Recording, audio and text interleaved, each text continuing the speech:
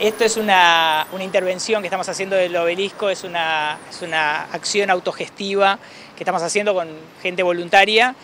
Eh, lo que queremos hacer es que llegue el mensaje eh, por los secuestrados por Hamas eh, en Israel.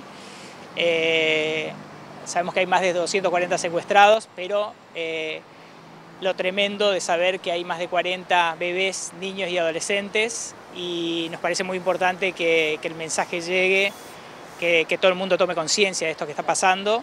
En todo el mundo se están haciendo distintos tipos de acciones, este, porque de vuelta eh, eh, la idea es que se entienda eh, la, locura y la barbarie después de la masacre que hizo Hamas en, Israel, tomar conciencia y dimensión de eso y poder también manifestar de manera clara y contundente que liberen a los secuestrados.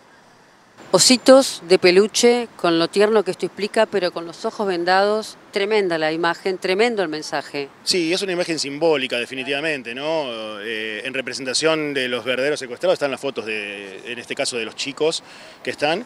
Y bueno, al intervenirlos un poquitito con el tema de ojos vendados y bocas tapadas, nos lleva un poquito más a lo que queremos transmitir. El obelisco porque es un lugar emblemático definitivamente de la ciudad de Buenos Aires y tal como dijiste antes, es este tipo de, acciones están haciendo en todo el mundo y me parece que acá en Buenos Aires se haga en el lugar más emblemático, eh, llama muchísimo, aparte es un lugar de muchísima visibilidad, de, tránsito, gente, autos, eh, turistas, lo que fuere, digamos, y bueno, es el mejor lugar para manifestar.